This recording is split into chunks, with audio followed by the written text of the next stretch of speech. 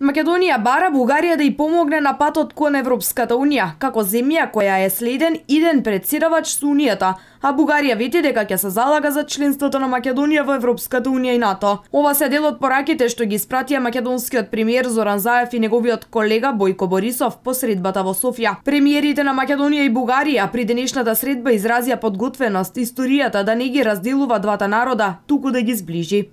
Денеска разговаравме за помошта и подршката која што Република Бугарија може да ја даде на нашата земја на процесот на интеграциите.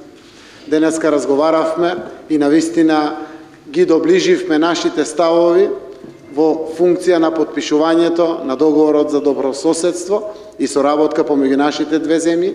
Остана еден мал детал, изедовме обврска на чествувањето заедничко на Илинден, Илинденското востание во Македонија да го завршиме и подпишувањето на договорот за добрососедство и билатерална соработка помеѓу нашите две земји, каде што на наша покана премиерот Борисов ќе ја посети Македонија и заедно по втор пат ќе се поклониме пред споменик од нашата заедничка историја.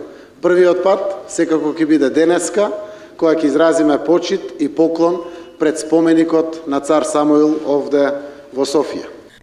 Разговарале за тоа во Софија да се именува улица по името на покојниот председател на Македонија Борис Трајковски додава во Скопје да се именува улица по поранешниот бугарски председател Желју Желев.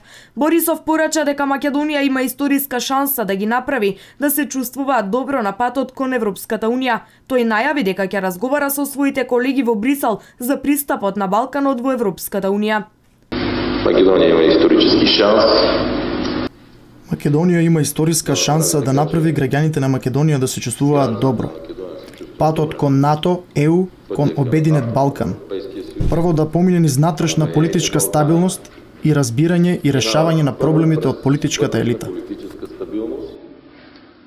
Ке направиме се што е можно за пријателска Грција да работиме заедно, да ги решиме сите проблеми, бидејќи дестабилизацијата на Македонија значи дестабилизација на нашите граници. Ние сме за единствена Македонија, ние сме за членство на Македонија во НАТО, а потоа и во Европската Унија, рече бугарскиот премиер Бојко Борисов.